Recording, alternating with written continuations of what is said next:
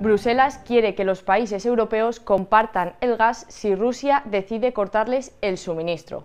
La Comisión Europea pretende aprobar a mediados de mayo un plan con el que todos los países europeos compartan el gas en caso de que Rusia decida cortarles el suministro, algo que parece inminente y es que el gas ruso eh, significa tiene una gran dependencia a todos los países europeos de él, como podemos observar en este mapa, ya que muchos países su única fuente eh, de gas es la procedente de este país. Por este motivo, desde eh, Europa pretenden imponer una alternativa para que todos los países compartan la energía, y en especial aquellos que tienen un suministro adicional al ruso, como es el caso de España. Si la situación continúa empeorando, podría llegar a darse incluso un racionamiento energético. Por este motivo, todos los países europeos están trabajando ya para reducir el consumo de gas ante una inminente corte del suministro ruso.